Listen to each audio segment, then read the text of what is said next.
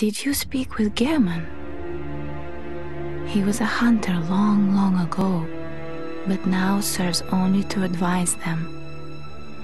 He is obscure, unseen in the dreaming world. Still, he stays here, in this dream. Such is his purpose.